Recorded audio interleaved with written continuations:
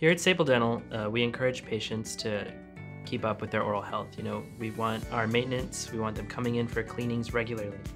And anytime, you know, we see a cavity, we try to address it while it's early in the stage. You know, if a tooth progresses to where it needs a root canal and a crown, well then that's where we have to go.